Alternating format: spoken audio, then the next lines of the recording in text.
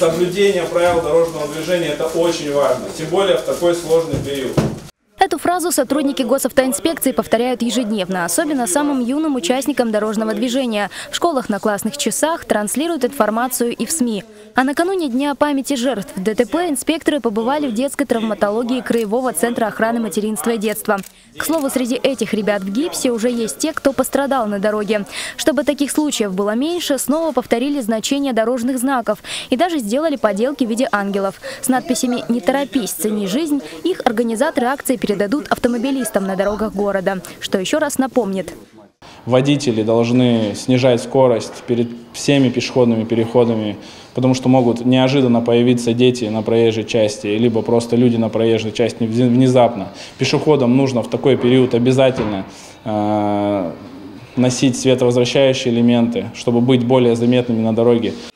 А эти ребята знают, что на красный сигнал светофора ехать не стоит, а зебра – повод осмотреться, нет ли поблизости пешехода, которого нужно пропустить. Свои знания юные водители отобразили в рисунках, которые представили на конкурс фонда имени Наташи Едыкиной, девочки, погибшей в ДТП. 13 лет существует этот конкурс, и афиша конкурса, а, она а, состоит из первых рисунков, которые 13 лет назад были нарисованы ребятишками, учащимися школы, в которой училась Оксана Едыкина. Там же в первый класс пошла ее сестра, потом ее жизнь трагически оборвалась. Ребятишки, которые тогда рисовали 13 лет назад, они сейчас стали взрослыми, а, возможно, уже завели своих ребятишек, да, а, и принимали участие.